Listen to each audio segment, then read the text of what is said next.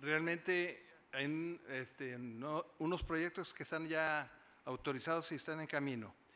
Eh, uno es el de Rufino Tamayo con la Plaza Zaragoza, otro es el de Lázaro Cárdenas este, a Morones Prieto, otro es el puente sobre la calle Jiménez que va de, de lo que viene siendo Morones Prieto a Díaz Ordaz y una gasa en la UDEM. Esa es parte de lo que puede ayudar a la movilidad, pero la movilidad funciona de dos formas. Una es la no movilidad y otra es la movilidad.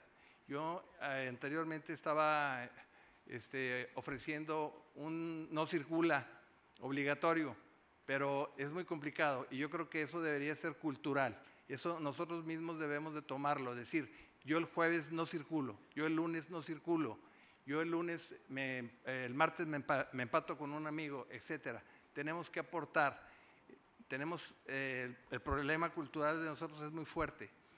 Con la creación de los distritos, esta es otra de las respuestas, este, creando los distritos y teniendo este, las necesidades completas en cada uno de los distritos, vamos a evitar también la movilidad. Por, por ejemplo, en San Pedro, lo que estamos pensando, este, ahí podemos trabajar, ahí podemos vivir, ahí podemos ir a los restaurantes, puede, puede haber área peatonal, en fin, podemos hacer hasta el deporte.